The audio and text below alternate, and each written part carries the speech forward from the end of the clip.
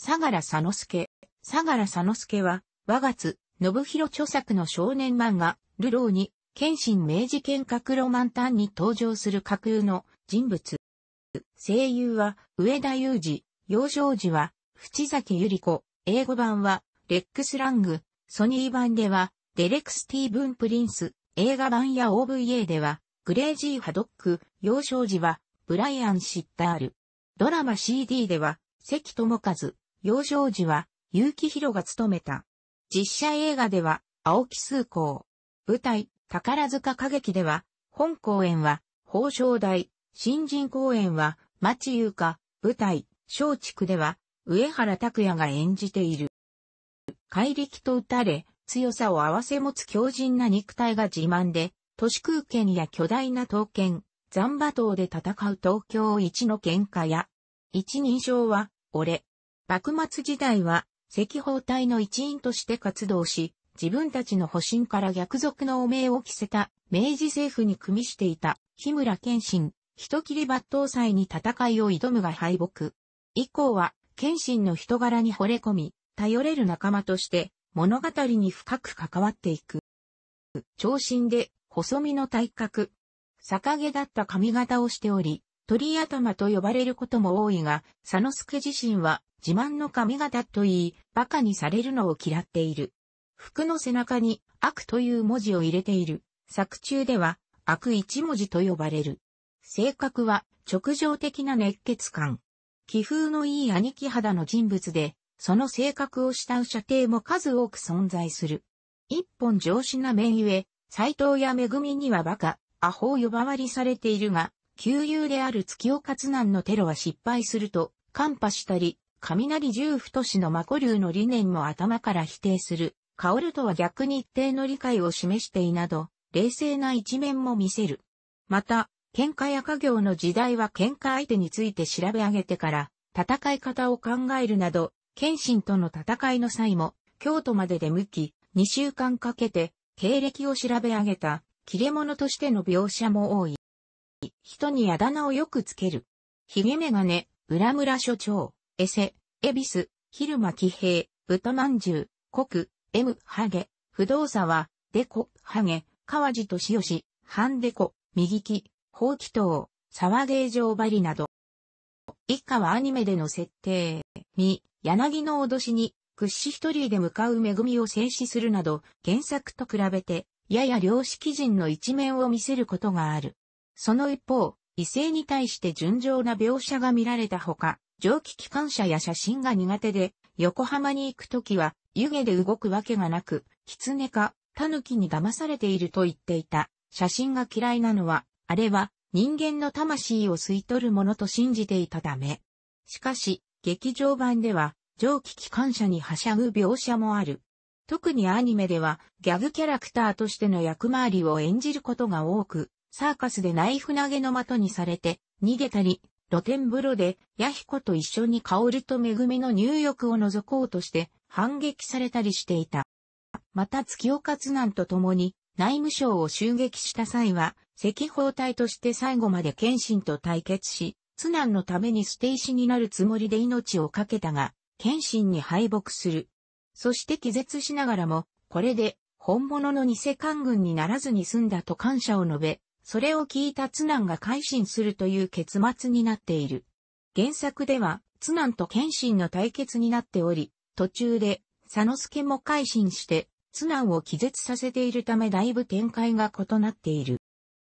万延元年、1860年2月父、東谷上下衛門、東谷上下衛門と、母、斜め、斜め、本編ではすでに個人との間に生まれる。新州出身で、赤包隊に憧れて家出し、準大使となった。隊長の相良創造を死と仰ぎ、維新後も彼と同じ相良の姓を名乗るほど尊敬している。その後、赤包隊が偽官軍として汚名を着せられ抹殺され、創造も濡れ衣を着せられ処刑されたことで、維新志士や明治政府を憎み、敵対視していた。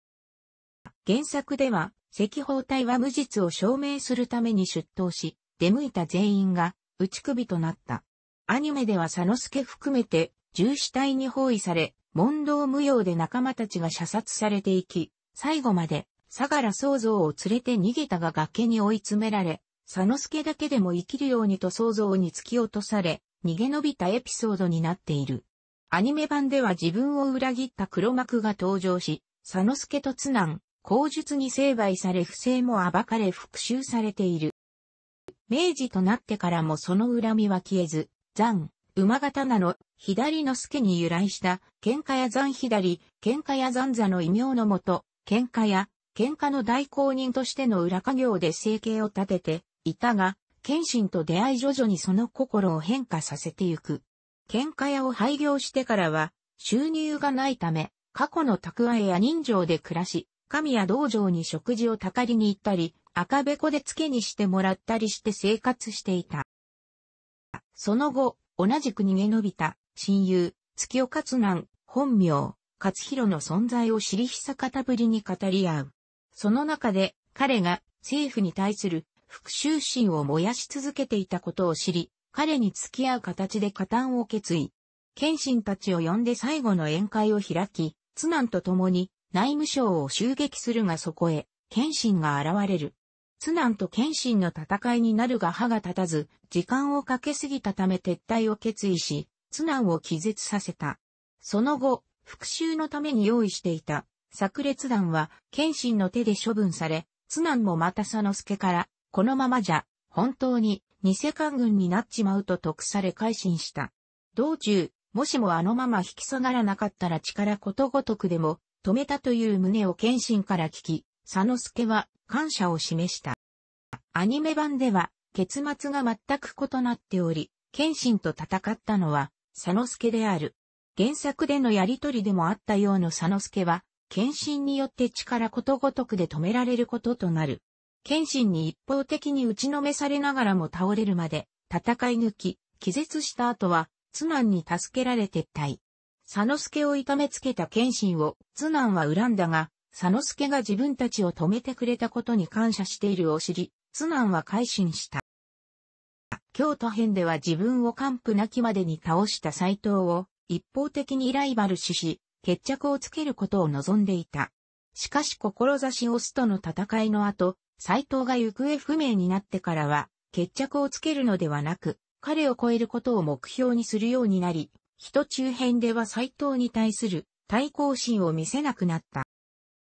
数々の戦いの後、故郷の家族を助けるために、政府高官に立ち向かったことでお尋ね者となる。それを逃れるために5年かけて、アメリカヨーロッパ経由で、つまり地球一周して、モンゴルに渡り族となり、日本への帰国を目指している。彼の悪一文字は、弥彦と弟の王太氏に受け継がれた。明日郎前科、あり、異文では、ラストシーンに、後ろ姿が登場。某国の街灯が並び立っているとある通りを、歩いており、北海道編にて帰国。横浜まで来た。実際には、横浜でなく、函館だったところで、北海道へと旅立とうとする謙信たちと再会し、謙信の要請に応じて、共に北海道へと向かうことになった。弟、大太氏は佐之助が家出した後に生まれ、母、七目は佐之助帰教時の2年前に他界している。市民平等の際、佐之助が実家から離れており、上下門らは東谷姓を、佐之助は相良姓を名乗ったため他の家族と姓が違う。なお、回想場面で、赤包帯時代の佐之助が、市民平等の世になれば俺もを名乗れると、語っているように当時の佐之助は、姓がない、死能交渉の時代では、姓を名乗れるのは、士族だけ。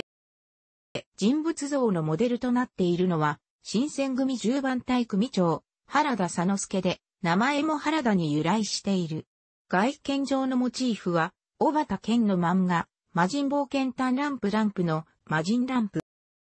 ルローに、謙信キネマ版では、武田官流の集めた資格のうちの一人として登場。残馬刀は所持しておらず、喧嘩や残左の異名も登場しない。その代わり二重の極みを習得済みで、悪一文字が異名になった。デザインの変更点として、拳には包帯ではなく赤いナックルグローブを装着している。これは、より都市空間で戦闘するキャラクターであることを強調するためと、二重の極みを打つ前に、ナックルグローブを外す動作があったら、かっこいいかなという二つの意図があり、さらには、仮面ライダー2号を意識したためとのこと。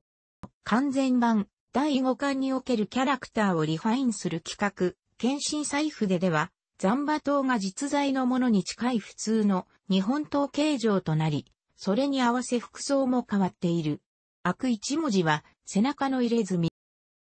実写映画版においては、基本的な設定は変わっていないが、謙信らとの出会い方が異なる。謙信と戦いこそするが彼の説得で途中で戦いをやめている。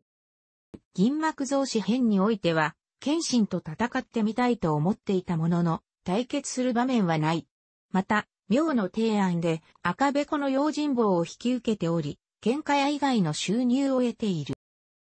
ルローに謙信の後の作品である、ガンブレイズウエストは、ほぼ同じ時代のアメリカが舞台であるため、もし打ち切りにならずに連載が続いていれば、ルローに、謙信本編後の佐之助が登場す、可能性もあったと、検診会伝で作者が語っている。なお、北海道編ではアメリカから直接帰国したように発言している。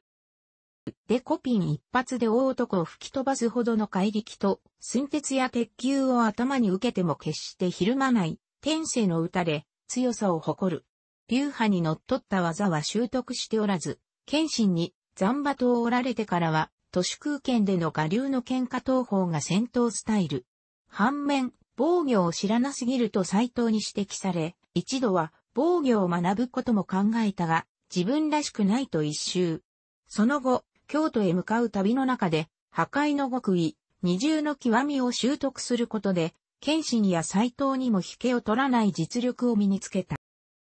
騎馬兵士を馬ごと切ることを目的に製造された巨大な刀。葉は両刃かつ肉厚、幅広で柄も長い、実写映画版では片刃で、原作ほど幅は広くない。その重量は、刀剣類の中でも最大級で、完璧に使いこなせた者は一人もいないとされる。佐之助の残馬刀は、応仁の乱の頃の骨董品で、手入れを全くしていないために切れ味は皆無だが、佐之助はその重量を活かし、もっぱら叩き潰すことに使用する。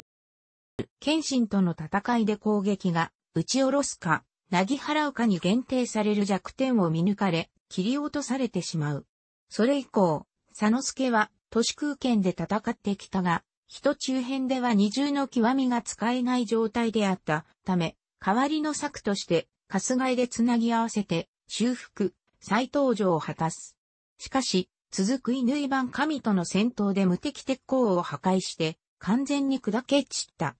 佐之助は、残馬島に相当の愛着を持っていたらしく、完全に砕けた際は、心の中で別れを告げ、その後に番神が、新、無敵鉄鋼に対してのうんちくを語った際には、残馬島を無駄死にさせてしまったと激していた。なお、ゲーム作品では、PS、重油死陰謀編以外のすべての作品で登場しており、PS、維新激闘編では、都市空間の相良佐之助と残馬刀を使う、喧嘩屋さん左が別キャラクター扱いとなってお、PS2、京都輪廻では佐之助は通常は、素手で戦うが葛藤モードになると残馬刀を使用する。PSP、再戦では、残馬刀所持が初期設定になっており、都市空間で戦うにはラウンドごとに残馬刀を消す必要がある。実写映画版においては、謙信との戦いは途中でやめたため、残馬刀も破壊されておらず、未流亭の庭での戦闘で使用したほか、続編の京都大火編でも使用された。伝説の最後編では、手持ちしていただけで戦闘では使っていない。同作のノベライズ版では、暗示との戦いで使用したが、二重の極みで粉々に破壊された。史実の残馬刀とは、形状は別物。詳しくは、大立ちを参照。十本刀の一人、冥王の暗示から課せられた修行で体得。楽しくご覧になりましたら、購読と良いです。クリックしてください。